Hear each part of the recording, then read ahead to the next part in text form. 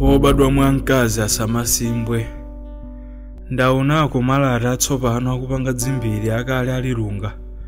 ndapenyako mbutuma ziwumali sukulu mitondo ziwiraka ndawathira diso wokhupuka kupita ndi covid akampupa ngolo ali phee kuwaza mkayiwa moyo simasamu ulibe yokhazikika njira.